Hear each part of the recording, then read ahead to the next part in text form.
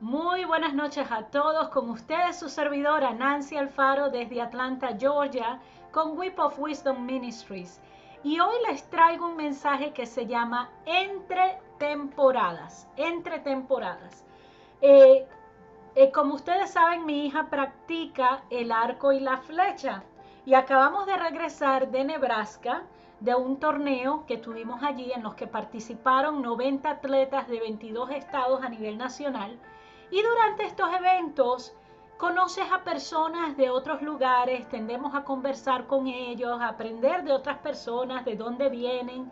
Y una de las mamás con las que hablé, ella practicó el arco y flecha cuando era pequeña. Y ahora ella estaba llevando a su hija que también practicaba el arco y la flecha. Y ella me decía cómo sus padres la llevaron a todas partes cuando era, ella era pequeña y pero que sus padres hacían el esfuerzo de no apurarla al terminar un evento. Eh, sus padres eh, eh, eran pacientes con ella para que tuviese el tiempo de fomentar amistades, de comerse el helado que se quería comer, de compartir con otras personas. Y me dice que ahora como adulta es que ella ha entendido los muchos sacrificios que su familia hizo para mantenerla en el deporte, pero también el enfoque, ¿verdad?, que tenían sus padres para que ella tuviese ese tiempo de fomentar lo que realmente era importante. Y mis amadas, ese testimonio se me gravitó en mi corazón y comencé a reflexionar en cuanto a eso, porque yo he visto a padres que apenas termina un evento se quieren ir y a veces ni esperan, ¿verdad?, por la medalla o el premio de los hijos. Están constantemente en un apuro. Y nosotros nos pasa, ¿verdad?, que con el trajín de todos los días estamos tan apurados de llegar al mañana que estamos dejando las oportunidades del hoy. Y eh, muchas veces, ¿verdad? Nosotros tenemos una meta en mente eh, por ejemplo, en el arco y la flecha, ¿verdad? la meta va a ser participar en ese evento, poder ganar, poder llegar, ¿verdad? Con altas puntuaciones. Pero realmente las experiencias mejor vividas no son cuando tú ganas, sino en cada paso que tomaste para tú cumplir esa meta. Yo tengo aquí en la parte de atrás, les puse una foto, ¿verdad? De una persona subiendo unas escaleras. Porque la vida muchas veces es así, de un paso a la vez. Y hoy estoy aquí para recordarte algo que el Señor compartió conmigo, y yo lo compartí con ustedes probablemente hace más de un año en uno de mis viajes. No sé si recuerdan, ¿verdad? Eh, de un mensaje llamado La vida es una autopista. Y eh, en ese mensaje, ¿verdad? El Señor me traía la analogía de que todos estamos en esta en esta carretera, ¿verdad? La vida de la carretera, estamos todos yendo hacia un destino. Y cuando vamos todos en esa autopista, vemos que hay varias salidas. Cada quien va rumbo a su destino, pero las paradas son necesarias. El tomar un paso para descansar, eh, el tomar ese paso para, para eh, agarrar fuerzas, tomarte el café para seguir adelante, son necesarios. Y quizás hoy tú te encuentras en una parada. Quizás hoy te encuentras entre temporadas. A veces sientes que has recorrido mucho, pero aún no has llegado a la meta y eso te puede estar causando frustración. Puede ser que te sientas cansada de luchar por tu matrimonio o que tus hijos no han llegado a ser todo lo que tú querías que ellos fueran. Quizás en tu carrera te sientes que tus sueños han quedado truncados pero te recuerdo que cada paso que tomes es importante. Leemos en la palabra del Señor en Proverbios capítulo 16 versículo 3. Dice, pon todo lo que hagas en manos del Señor y tus planes tendrán éxito. Mis amados, cuando tú entiendes que Dios está al cuidado de todos los detalles de tu vida, vas a entender que aún la parada que tomaste, aún cuando el carro se rompe en medio de una autopista, tienes problema, una avería, aún esos momentos el Señor los tenía planificados. Aún los momentos donde te sientes frustrado y sientes, Señor, ¿dónde estás que no te veo? Aún en los momentos que a lo mejor estás pasando por un problema físico, por enfermedad en tu cuerpo y dices, Señor, yo sé que tú me sanas, pero me duele todo. Y mis amados, aún en ese tiempo, cuando estás entre temporadas, aún en ese tiempo, aún en ese pasito que estás dando un paso para poder llegar a la cima, aún allí el Señor está contigo. Santiago 4, 13 al 15 dice, presten atención ustedes que dicen, hoy o mañana iremos a tal o cual ciudad y nos quedaremos un año. Haremos negocios allí y ganaremos dinero. ¿Cómo saben qué será de su vida el día de mañana? La vida de ustedes es como la neblina del amanecer. Aparece un rato y luego se fuma. Lo que deberían decir es, si el Señor quiere, viviremos y haremos esto o aquello. ¿Qué es lo que estaba tratando aquí de decirnos Santiago? Mira, mis amados, no hay nada malo en tener planes en la vida. De hecho, nosotros debemos planificar, ¿verdad?, para el mañana. Pero lo que no está bien es que porque tengas tu mente en el mañana, tú te estés perdiendo de tu hoy. Porque sabemos que las misericordias de Dios son nuevas cada mañana. Quiere decir que cada día cuando amanece hay cosas que Dios ha preparado para ti, para que tú vivas. Quizás tú te estás enfocando cuando tu matrimonio sea perfecto, cuando tu carrera te produzca todo este dinero, cuando tengas la casa más grande, cuando tengas el trabajo adecuado, cuando tus hijos se gradúen, se casen y se vayan de la casa. Mis amados, estás poniendo tus ojos tan al futuro que no estás viviendo tu presente y estás dejando de hacer lo que debes hacer hoy para poder llegar a ese mañana. Por eso Santiago lo pone en perspectiva y dice, mira, no planifiques tanto sin que Dios esté en el medio de estos asuntos. No planifiques tanto en decir, mañana voy a hacer esto y aquello si Dios no está en esa decisión. Leamos Salmos 68, 19. Dice así, dice, alaben al Señor, alaben a Dios nuestro Salvador, pues cada día nos lleva en sus brazos. Cada día el Señor lleva tus cargas. Mis amados, aún cuando estás dando ese pasito, aún cuando estás subiendo esa escalera empinada y dices, Señor, pero todavía no llego. ¿Verdad? Que tú dices, ¿cuántos pasos más me faltan, Padre? Padre, me faltan las fuerzas, siento que desmayo. Y ahí es cuando el Señor te recuerda, cada día yo te llevo en mis brazos. Cada día, mis amados. El Señor no está contigo solo cuando llegas a la cima. El Señor está contigo cada día y te lleva cargado. A veces el Señor, mira, así como esa imagen que hemos visto de Jesús con la ovejita aquí cargada, porque el Señor nos carga cuando nos faltan las fuerzas. Yo les he compartido a ustedes que en esa imagen del Jesús, ¿verdad? Con la ovejita cargada es porque cuando las ovejas se asustan, ellas quedan patas arriba del susto y cuando quedan así se paralizan y los gases del cuerpo comienzan a hincharlas, hincharlas al punto de que no pueden caminar ni tienen la fuerza. Y si, un, si el pastor de ovejas no llega a esa oveja rápido, esa oveja muere. Por eso dice que él deja las 99 para buscar a la oveja que se le perdió. Y sabes, Él te trae en sus brazos, Él te carga porque Él conoce tu cansancio, Él conoce que tus fuerzas se están debilitando, pero el Señor está allí para cargarte como el buen pastor, para que no te debilites, para que diga, mira, mi hija, recobra las fuerzas, yo te voy a llevar conmigo, pero tú tienes que seguir adelante, tú no has llegado aún a tu destino. No puedes tirar la toalla a medio camino. Debemos seguir buscando y llegar a la meta que el Señor preparó para nosotros. En Salmos 12, 1 al 3 dice, Él no permitirá que tropieces, el que te cuida no se dormirá. Oh, mis amados, es que tú tienes que saber al Dios que tú sirves. Al Dios que tú sirves no duerme. El Dios que tú sirves sabe todo lo que tú estás pasando.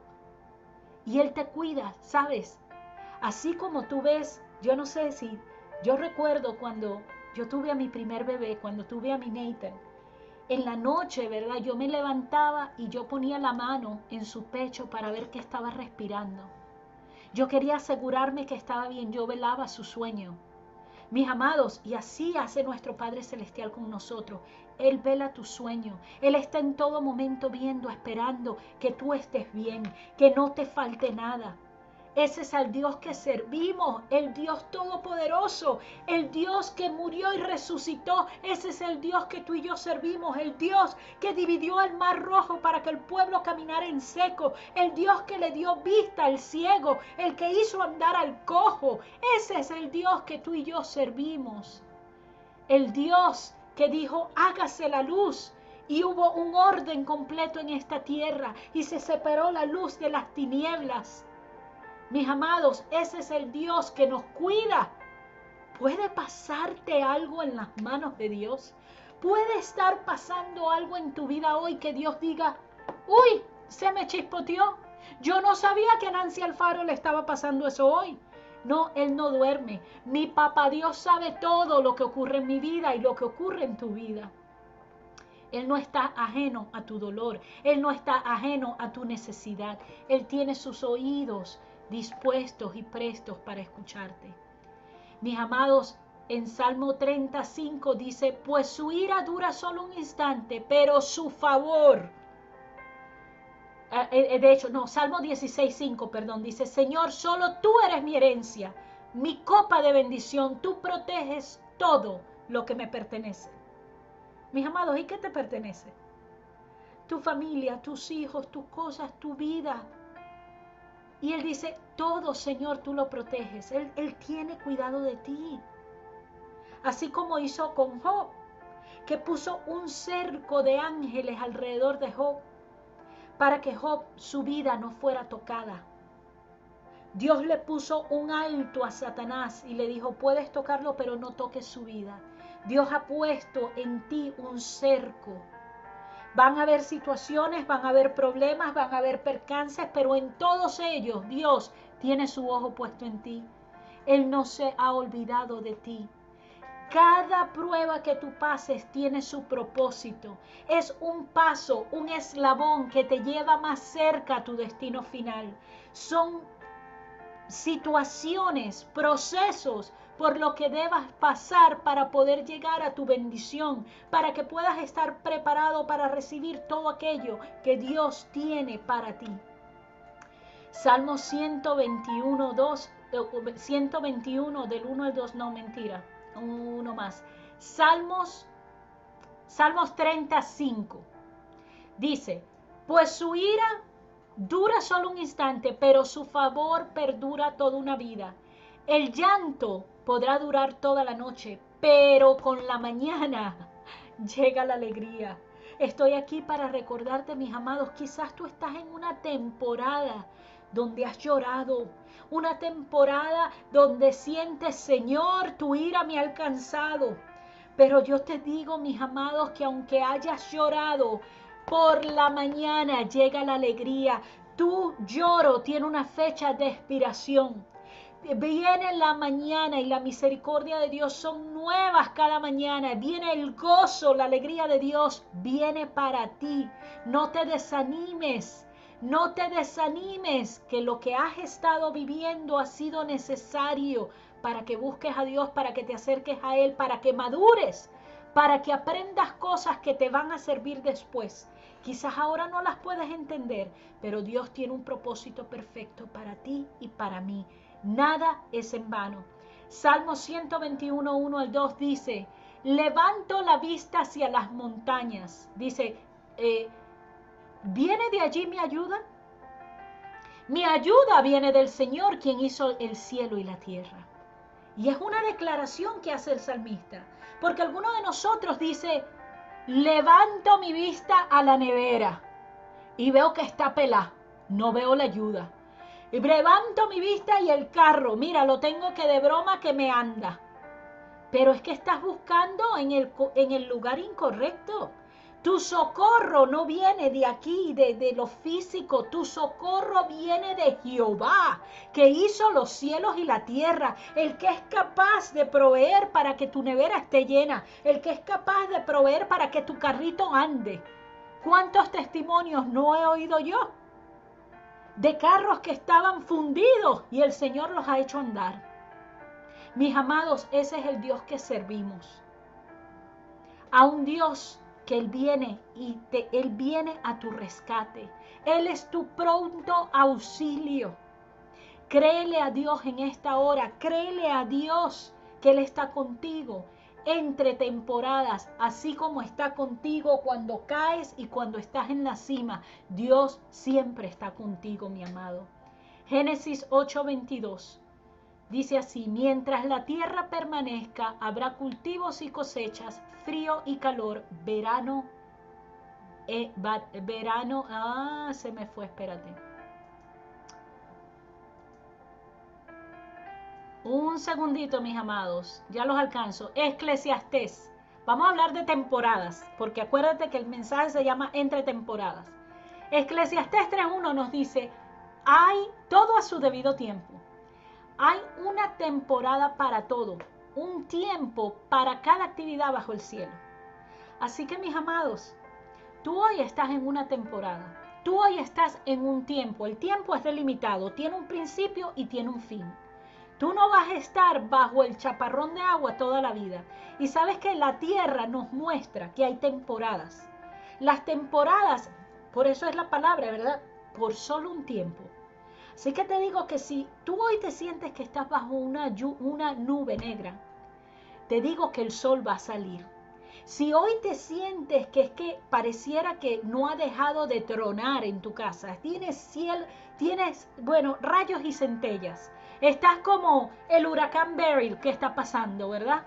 Donde por donde pasa pareciera haber dejado destrucción total. Pero sabes que el sol volverá a salir, el mar volverá a entrar a su cauce, todo volverá otra vez a la normalidad.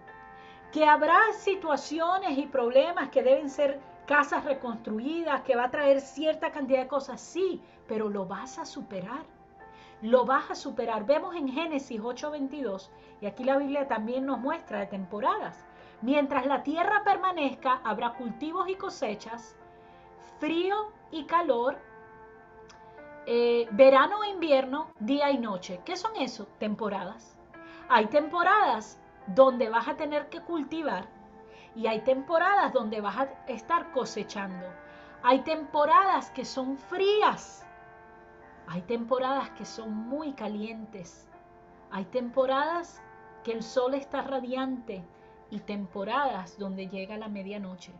Mis amados, estás entre temporadas. No te desanimes.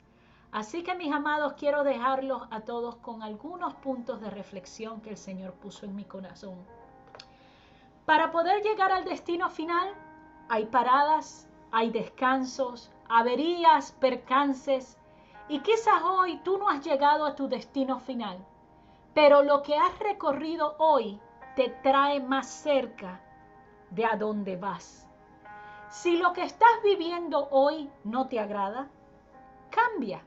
Las decisiones que tomes hoy van a afectar tu mañana. Cambia tu hoy y mañana verás otros resultados. Dios ha trazado un camino y a nosotros nos toca caminarlo. No trates de caminar ese camino sin Dios, porque se te hará el camino aún más largo. Tú eres responsable de las decisiones que tú tomas y la vida que eliges vivir. Todo destino trae sus afanes, unos de una manera, otros de otras, pero todos pasamos por un desierto.